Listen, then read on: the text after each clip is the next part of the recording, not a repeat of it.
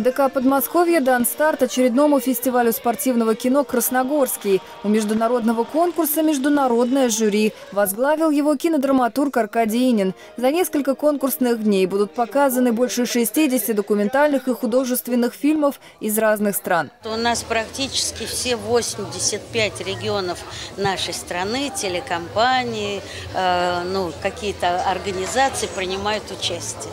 То есть эта тема не только стала узкая, не только центральных каналов, не только каких-то больших интересных компаний, а это уже и по всей стране. Фильмы, которые пройдут у нас э, в фестивальной части, мы будем э, их отдавать нашим спортивным школам по своим направлениям. И каждый тренер будет показывать своим воспитанникам эти фильмы для того, чтобы молодежь видел, как развивается спорт. Фильм «Открытие» – спортивная драма Данила Козловского «Тренер». История футболиста национальной сборной Юрия Столешникова. История одного незабитого пенальти, изменившего судьбы. На фестивальных показах можно будет узнать и о другой спортивной легенде. Наш фильм «Лев Яшин» номер один, он показывался по телевидению, на стадионах, в кинотеатрах.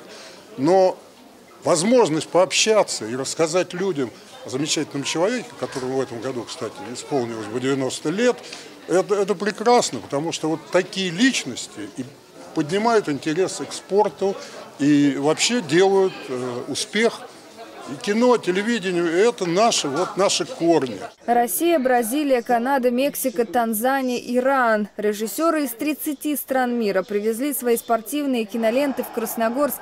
21 мая в этом же зале будут названы победители киносмотра 2019 в шести номинациях.